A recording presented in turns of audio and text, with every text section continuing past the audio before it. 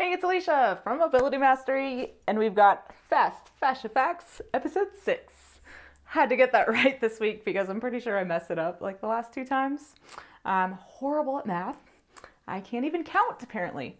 Uh, so, the way that this works is I'm just going to run through three facts about fascia. Then I'm to actually take some liberties, extrapolate, give you my theories about why I think this is super important, implications for your well being and health and healing potential. Uh, and then I always love hearing from you. So if you have any, you know, personal, particular takeaways, uh, I would love for you to share that below this video uh, when we're done. So, number one here is fascia is composed in part of something called the ECM, which stands for the extracellular matrix. And the ECM contains critical nutrients that your body needs to thrive. But not only thrive, heal. So if you want to heal faster than you injure, this is a critical thing to learn about. So I'm to circle back around and get to my theories uh, after I go through them all. So number two is the ECM that lives in your gut is part of the protective lining for your immune system. And this has system wide implications for health and healing because of that gut brain barrier and the gut brain connection. And number three, the ECM is like the fiber optic network of your body and it facilitates all kinds of critical communications between not just your brain and body and your mind and your body, but also between cell like cell to cell communication as well as say fascia to muscle communication and so much more. So I'm not going to go crazy in depth on any of the science here. I encourage you to look this up for yourself. We're just kind of covering the facts really quickly, and now I'm going to uh, extract from this what I believe feels really important for my own uh, mind body healing and then optimizing my potential, and then what I've seen with clients that feels critical to share with you. So you can hopefully take this information, use it, and heal faster or optimize for either athletic performance or your best life, whatever that means for you.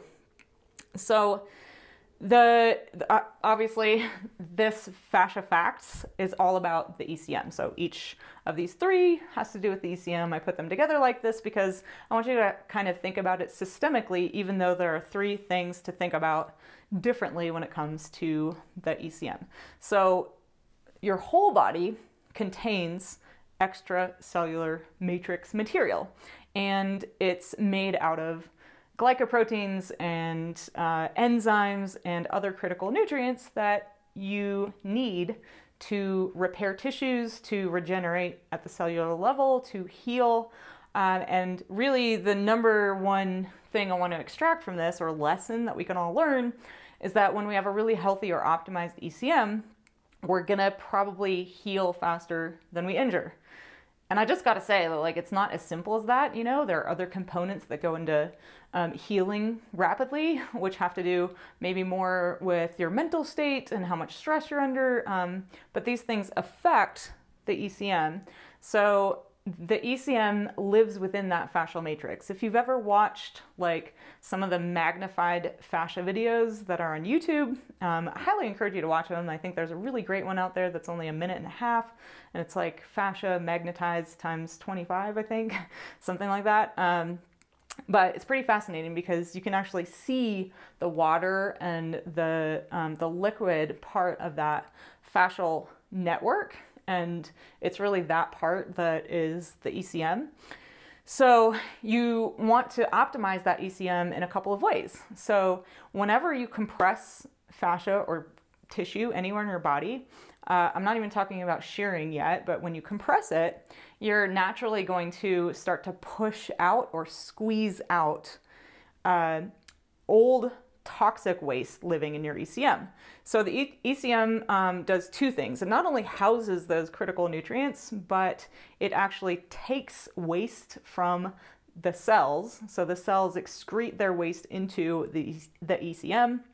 And then through that fascial and lymph system, which is in the super, superficial fascia, uh, your body is going to try to move it out uh, of your body, right? So it can get excreted numerous ways through the skin, through sweating, um, through pee, through poop, right? Uh, all those elimination elimination pathways.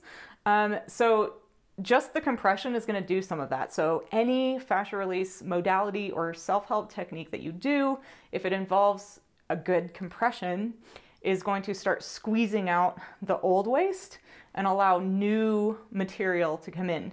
And that new material is going to be blood flow, um, it's going to be water. You might end up synthesizing some, you know, uh, fibroblasts or activating fibroblasts that synthesize some collagen. So you might get some collagen production. Uh, you might get some hyaluronic acid production. You might start um, getting more water into that ECM. And all of those ingredients are necessary for uh, repair and healing. And then you want a good store of critical nutrients that your body can draw from at any time so that if you get injured or if you are stressed or if an area is in more need than it is on a consistent basis, you have the necessary ingredients to heal fast. So you can imagine that, you know, let's say you haven't been doing fascia release. Maybe you never have. Maybe you've never even gotten massages or you've had very little compression to your system, to that soft tissue system. Um, and then you end up with an injury like uh, a knee injury, an ACL tear, or some elbow tendonitis. Well, your body may have a difficult time healing that if there aren't ready nutrients in that ECM. So then you end up in a scenario, raise your hand if this is you, um, where you are injured for a long time, where maybe you've taken to Google or you've gone to a doctor and they say, well, normally a sprained ankle takes six weeks to heal. By the way, I think you can heal it a lot faster than six weeks. But let's say you heard that the average person takes six weeks to heal a sprained ankle, and for some reason you're on like week eight or nine or 10, and it's still not where you want it to be. You still feel some pain there, it's still irritating you. It could be because your ECM is not where it needs to be in terms of containing the critical nutrients, and then those pathways being open where whatever, you know, whether it's an Achilles tendon or uh, ligaments and tendons in the ankle, whatever it is, right, or the elbow uh, that needs those nutrients isn't getting it, and then it's not healing fast. I believe, so this is my, you know, where I'm like taking some liberty to theorize. I theorize that the more optimized we can get our fascial system, the faster we can heal from just about anything. And in fact, something like a sprained ankle could be addressed within a matter of minutes potentially, like a 45 minute session with someone like me. Um, where they, you know, my clients have actually walked out, where they walked in with a boot and they had just sprained their ankle the day before. Um, so that's pretty miraculous, right? Like I believe mir- miracles can happen when we actually get to know the body and then assist the body to do what it does naturally, but even better right? When we actually take the time to optimize. So I hope that's making sense. All right, so number two, uh, I'm gonna get a little sciencey here, and I kind of always forget this, so I did have to go look at my notes just now. But um, the ECM that lives in your gut is part of your gastrointestinal associated lymphoid tissue, or GALT, and if you've ever heard of leaky gut syndrome, if you've ever ever heard of your gut lining, and maybe you've listened to Zach Bush or other people talk about that barrier, that really, really, really thin barrier that exists between our immune system and the world, it's really thin. That is made up in part of the ECM in your gut. Uh, so, critical implications here for all kinds of things, including leaky gut, uh, detoxing properly, and then, of course, the gut brain barrier and any relationship really between the gut and the brain. Um, so, mental health stuff like anxiety and um, you know even even other mental health things like depression and hormone imbalances and stuff like that can absolutely be due to uh, something being off in this part of the gut.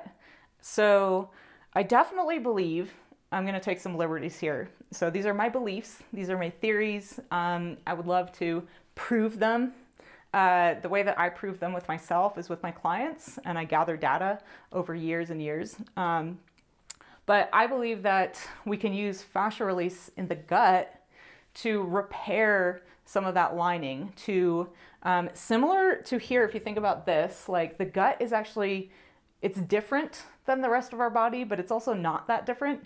So you have muscles here. Yes, we have organs, um, but we have a lot of muscle here too. Uh, we have a lot of fascia. We have a lot of nerves here, and we can get fascially adhesed in the gut. In fact, a lot of people, like almost everybody I know um, or work with, has stuff going on in the gut. And so if you have a lot of gut fascial adhesions, uh, what do you think that might do to the blood flow and the nerve communication that really needs to be happening here for your organs to function properly and that brain gut um, pathway to be like clear and not clogged.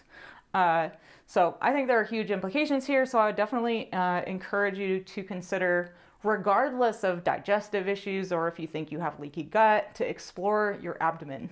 Um, I think that if like I always say, if I could pick one area to release on anybody for pain, uh, it would be the quad hip flexors for head to toe issues because uh, the quad hip flexors affect the hips to an extent that it can cause hip pain, back pain, knee pain, carpal tunnel, uh, shoulder issues, uh, plantar fasciitis. I mean, you name it. Now, there are definitely other factors as well, but if you forced me to pick one technique, it would be that one. But for overall human health, or well being, meaning your mind body connection, putting you in contact with a part of yourself that has the most um, potential for optimizing your well being, uh, it would be your gut. So I would have you release your gut fascia. So definitely something to consider. We'll link to the uh, abdominal self fascia release for um, this fascia here um, below this video for you. Uh, but I would love to hear if you if you resonate with this one because so many people these days have leaky gut syndrome or maybe like me you're trying to detox right now and this is like a part of your immune system. It's a part of the pathway for toxins to move out. Uh, maybe there's something going on you know between the gut and the brain. So let me know in the comments below if you resonate with this one and tell me that you're going to go do that gut fascia release or if you've already tried it i'd love to hear from you. Um, and then number three, uh, the ECM is like the fiber optic network of your body.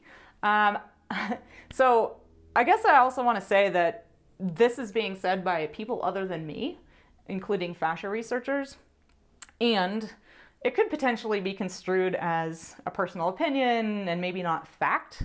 Um, so I just want to say that some of these are like irrefutable, like scientifically validated facts, and other ones are generally um, like there's a general consensus of it within you know the field of fascia research. Um, but you can go watch videos um, like that fascia magnified video and actually see the fiber optic network. You can see those fascial fibers getting kind of pulled apart. Um, you can see the watery part of it. And there's so much that needs to happen between your brain and your body between your consciousness and your body your energy and your body, but then also between all the different systems of your body. And I believe that communication happens mostly through the fascial system uh, via the ECM. So, in order for that ECM to facilitate all of these critical communications, it has to have a high water content. Water is really one of the fastest ways to send a message. Um, you know, they've I'm going to probably botch this from a scientific standpoint, but I know they've done studies on, um, you know, like sonar and how fast sound travels in water, for instance, and it's like very, very, very fast. So I believe communication happens largely through the waterways of our body, um, and and then assists communication across the body, right, between other systems. So cell to cell communication.